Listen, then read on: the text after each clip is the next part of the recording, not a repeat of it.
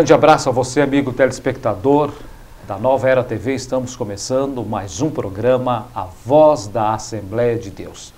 E nós temos o objetivo que esse programa seja de bênção, sirva de bênção para você e a sua família e que você possa ter uma semana abençoada. Fique conosco durante todo este programa e tenho certeza que Deus falará poderosamente com a sua vida. Esse programa tem a direção geral do pastor Elias Verges, ele que é o presidente da Igreja Evangélica Assembleia de Deus em Lages, e a supervisão do pastor Sebastião Sutil. Também na produção conosco, o diácono Paulo Bandeira. É um prazer estar com você e antecipadamente já queremos agradecer a você, amigo telespectador do programa Voz da Assembleia de Deus, pela sua audiência. Teremos aqui avisos da obra do Senhor no campo de Lages, também a mensagem da palavra do Senhor. Enfim, você aqui estará bem informado em relação ao trabalho que vem sendo desenvolvido pela Igreja Evangélica Assembleia de Deus, que tem o seu templo sede localizado na rua Manuel Tiago de Castro, número 660, e mais 65 templos distribuídos pelas principais regiões aqui da nossa querida cidade de Lages. É um prazer tê-lo conosco como telespectador do programa A Voz da Assembleia de Deus. Já quero cumprimentar conosco também, faz parte da produção do programa, o diácono Paulo Bandeira, que está conosco aqui nos estúdios da Nova Era TV. A paz do Senhor, é um prazer tê-lo conosco. A paz do Senhor, meus irmãos, telespectadores, a paz do Senhor, também nosso amigo, irmão, apresentador César Augusto. É uma alegria estarmos aqui, né, novamente, com os irmãos. Hoje, como César Augusto já nos falou, estaremos falando dos assuntos referentes à obra do Senhor. Então, fique conosco, aproveite este programa que você vai ser grandemente edificado. Lembrando sempre que falamos é, em nome de lojas A Predileta, Farmácia Daiane, loja principal, Mercado da João Luz, ali no bairro Santa Catarina, Lagemac, na Avenida Dom Pedro II, Divina Moda. Esses são os patrocinadores do programa A Voz da Assembleia de Deus.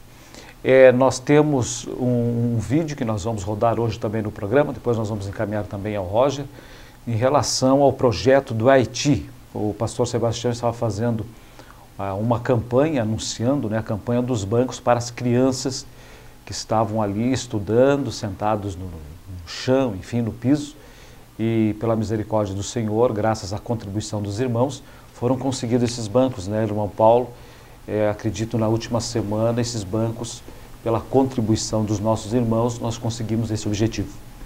Isso mesmo, né? através das contribuições, através de uma campanha feita ali pelo DEMIAD, que é o Departamento de Missões aqui da Assembleia de Deus de Lages, né? juntamente ali com o pastor Sebastião, que é o coordenador de missão, esses bancos foram arrecadados, né? os valores foram repassados ali para conseguir esses bancos, para que podemos estar mandando esse dinheiro para que lá para o Haiti, para que sejam construídos esses bancos, as crianças possam ter ali estudar e também fazer as suas refeições. Muito bem, então assista o vídeo, esse é o vídeo que nós vamos estar rodando nesse momento, da missionária que está no Haiti, fazendo agradecimento aos irmãos aqui de Lages que contribuíram em favor desse projeto que a Igreja de Lages realiza nesse país tão carente, tão necessitado. Acompanhe o vídeo. Nós estamos aqui nesta manhã, viemos receber os bancos que ficaram prontos. São 30 bancos escolares que foram feitos com a sua ajuda. Graças a Deus, vocês puderam nos ajudar. Graças ao Senhor, essas crianças vão ter onde sentar para poder estudar, fazer seus deveres. Um banco digno para, uma criança haitiana estudar. Nós queremos agradecer muito a vida de cada um de vocês. Continuamos com o desafio, porque agora são as divisórias, né? Eu mandei chamar o maestro pra, de madeira, que trabalha com madeira, para ele fazer as divisórias dentro da igreja para nós, para transformar em sala de aula, porque nós dividimos com cortina e vamos fazer uma coisa um pouco melhor. E devagarzinho, com a sua ajuda, nós vamos fazendo as melhorias dessa escola.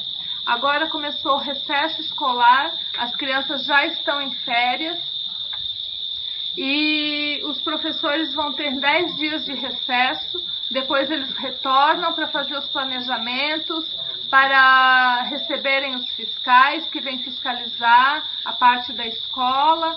E os trabalhos na igreja continuam normalmente, cultos normalmente, discipulado, o Haddad, os nossos departamentos na igreja continuam normalmente. Só a escola, a parte da escola que vai entrar em recesso por um período pequeno. Tá bem, meus irmãos? Muito obrigada, que Deus continue vos abençoando em nome de Jesus. A paz do Senhor. Muito bem, irmão Paulo, estava o agradecimento da missionária. Realmente é, é uma chamada você deixar o Brasil e ir para um país carente como o Haiti. A pessoa realmente ela tem que ter uma chamada específica de Deus, né? E a missionária fazendo o agradecimento em relação a, aos bancos que já estão sendo é, confeccionados ali no Haiti. Para nós é algo muito simples, mas para o haitiano é algo de grande relevância. É isso mesmo. Né? Ali a missionária Carla está trabalhando no Haiti juntamente com suas crianças e tem feito um trabalho abençoado ali. Né? Como o irmão César Augusto nos falou, é abdicar, né? abrir mão de muitas coisas para poder estar lá fazendo a obra de Deus. E nós vemos também, através de vídeos, mensagens que o pastor Sebastião recebe, o agradecimento dessas crianças, a alegria quando eles recebem né, alguma bênção, algum donativo ali referente que nós aqui da Assembleia de Deus de Lages mandamos para lá, para que eles possam estar desfrutando da alimentação, estar desfrutando de conforto, né, que muitas vezes eles não tinham. Então, isso tem sido bênção. A igreja de Lages, o povo de Lages tem abençoado grandemente a obra missionária e a obra também ali no Haiti. Muito bem, você queira contribuir com os projetos missionários da Igreja Evangélica Assembleia de Deus, são 20 pontos de missão, são 27 projetos, missionários também no oeste de Santa Catarina, no sul da Bahia, no estado de Minas Gerais, na Espanha, enfim, são vários projetos desenvolvidos pelo DEMIADLA, que é o Departamento de Missões da Igreja Evangélica Assembleia de Deus aqui em Lages.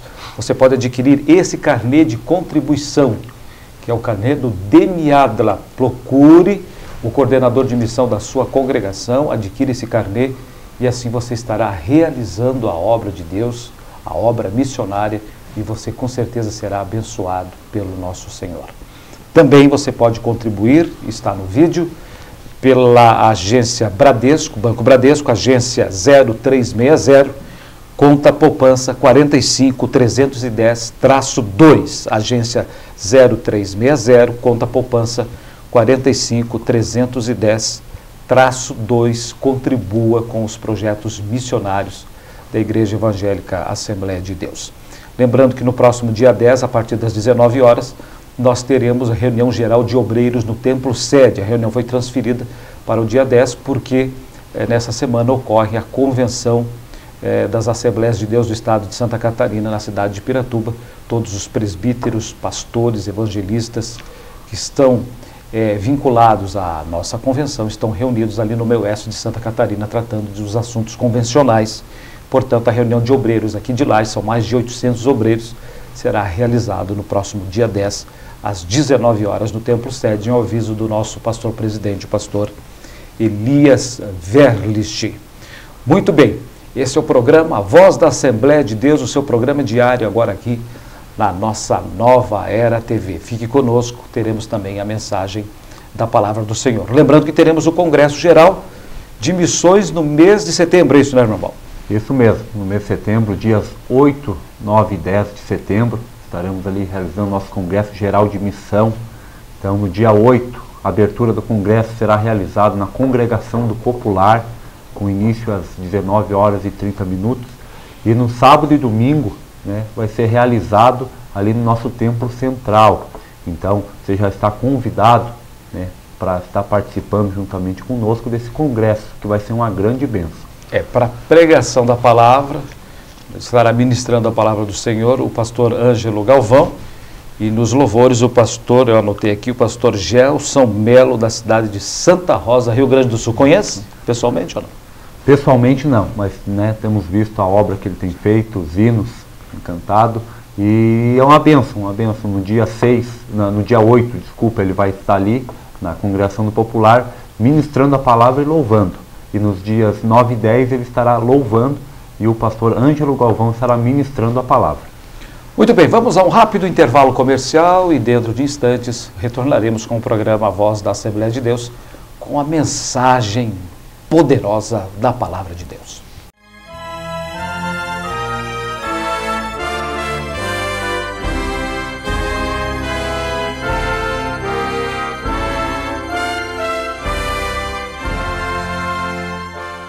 Farmácia Daiane, materiais hospitalares, cadeiras de rodas e cadeiras de banho, suplementos alimentares, meias ortopédicas, muletas e andadores, colchão, pneumático e colchão piramidal. Diz que remédio tem farmácia popular. Rua Lauro Miller 26, Lages, telefone 32 22 16 20, bem próximo do pronto socorro. Loja predileta, moda evangélica, masculina e feminina. Fica ao lado do terminal em Lages. Telefone 32 23 16 82, bem no centro da cidade de Lages. Supermercado Ajoluz, o lugar certo para fazer suas compras com completa açougue. Fica no bairro Santa Catarina. Telefone 32 22 82 97.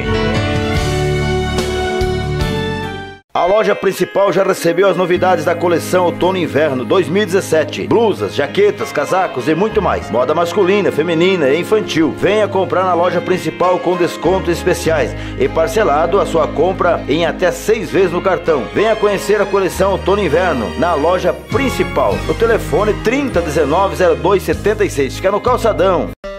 Loja Divina Moda.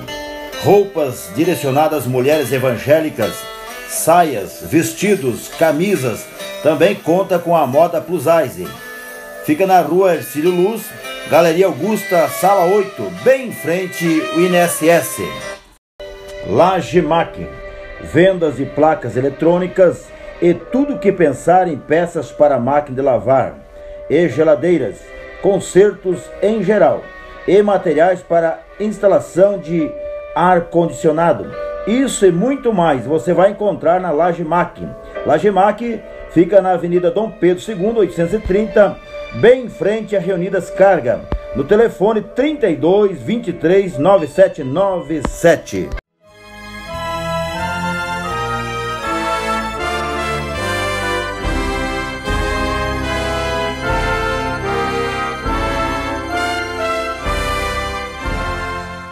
Muito bem, voltamos com o programa Voz da Assembleia de Deus. Nesse momento estaremos ministrando a palavra do Senhor para a sua vida.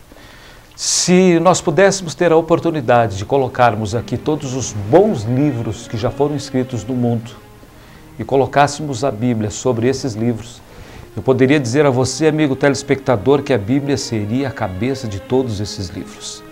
Se eu, se eu pudesse colocar a Bíblia Sagrada no meio desses livros, a Bíblia Sagrada seria o coração de todos eles. E se eu pudesse colocar a Bíblia Sagrada ao, aos pés desses livros, a Bíblia seria a base de todos eles. Então não há livro de anatomia, livro de medicina, de filosofia, de cálculo diferencial integral que possa superar as verdades que estão expostas, escritas na Bíblia Sagrada. E para o dia de hoje, no Evangelho de João, no capítulo de número 3, a palavra de Deus nos diz, foi o encontro de Nicodemos com o Senhor Jesus. A palavra nos diz: Havia entre os fariseus um homem chamado Nicodemos, um dos principais dos judeus.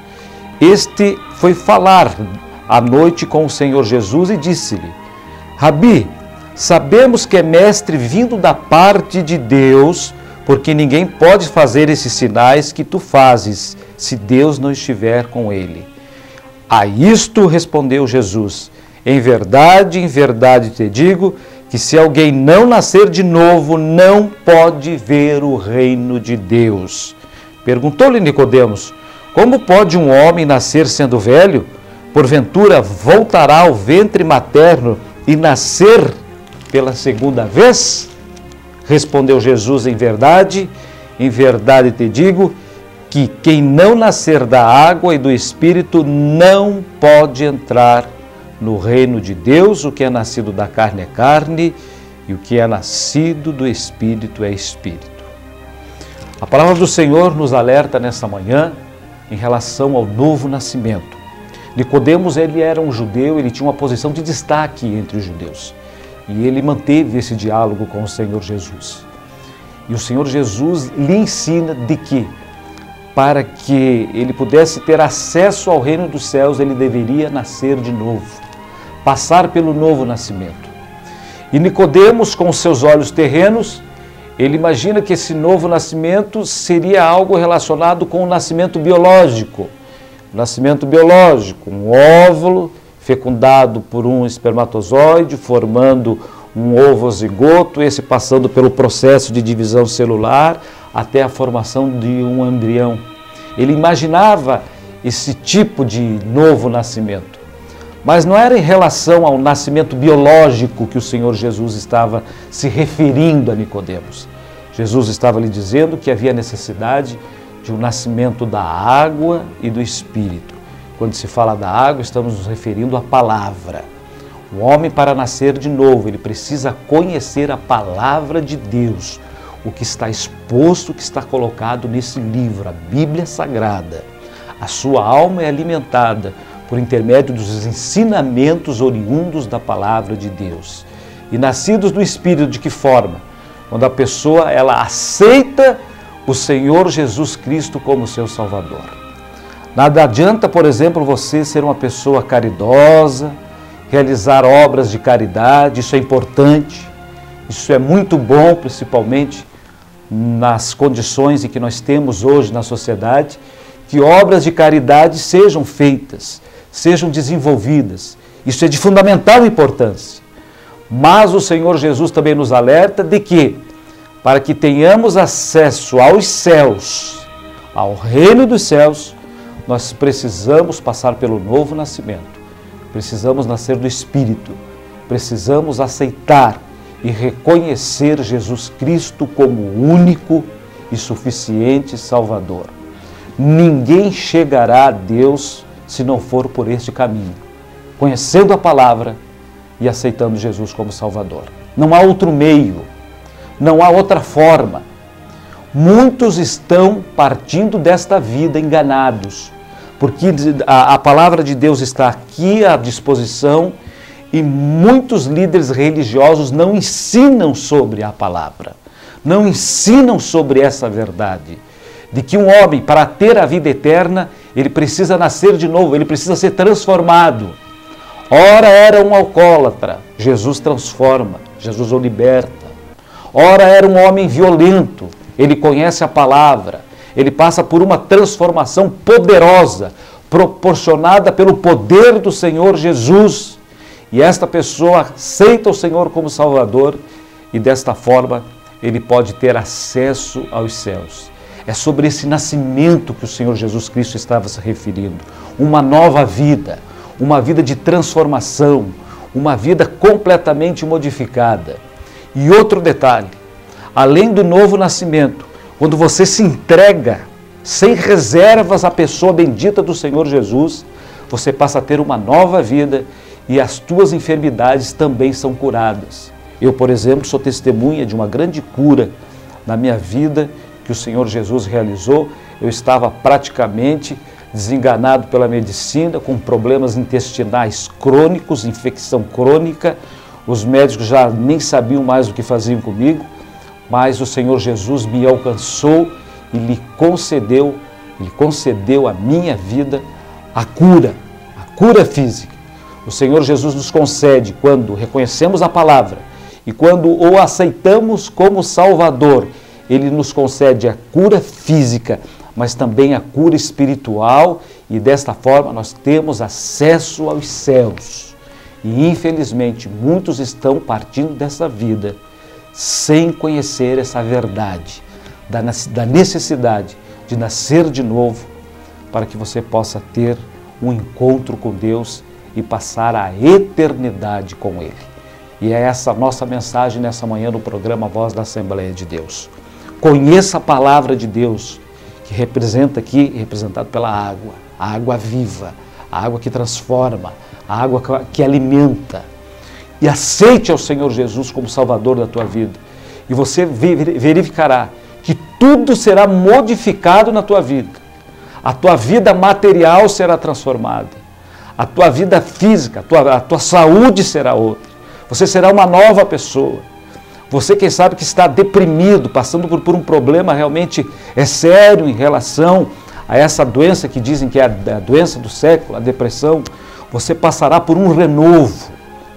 E eu te garanto isso pela palavra, pelo poder da palavra de Deus. Então aceite ao Senhor Jesus como Salvador. Conheça o Senhor Jesus, os seus ensinamentos, a sua misericórdia.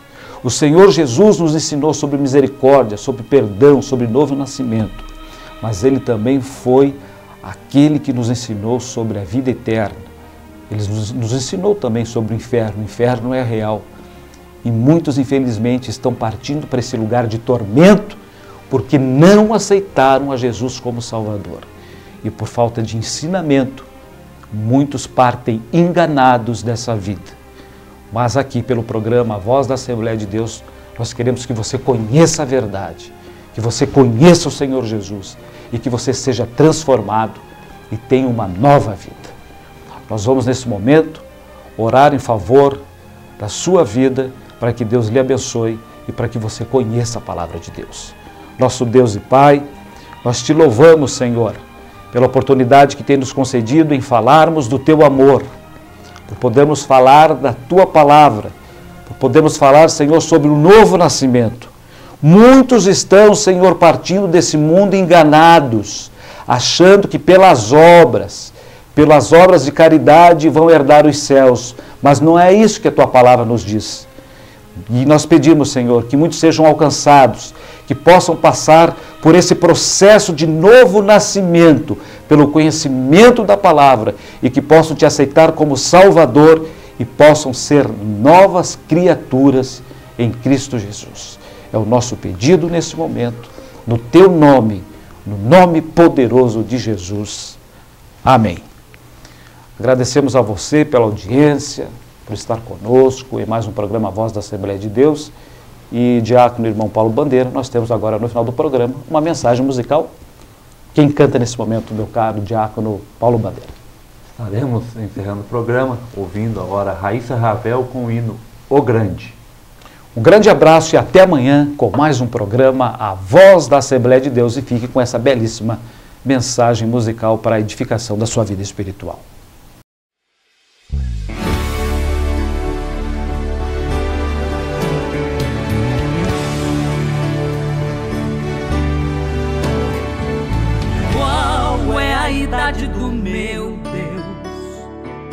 Seu aniversário, que data é?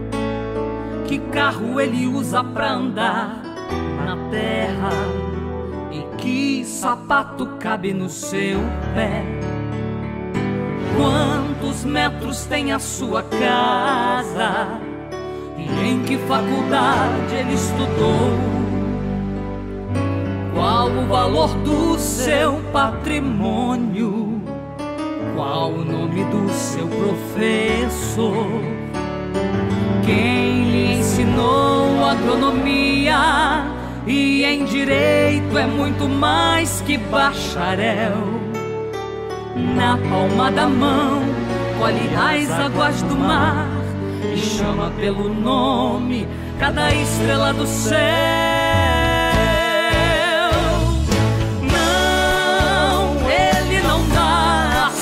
Glória a ninguém, pois é dono de tudo tudo ele tem. Não aceita soberba e ao prepotente ele faz descer.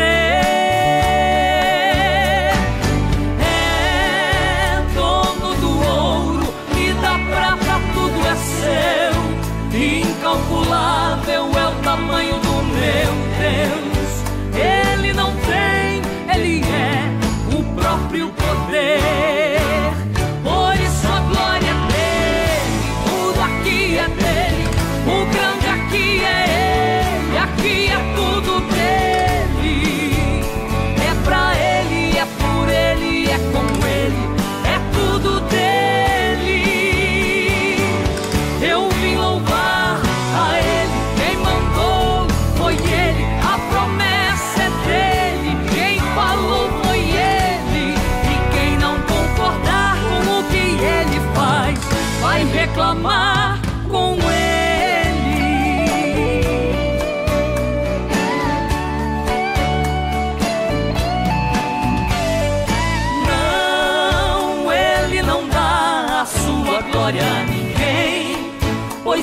De tudo, que tudo ele tem.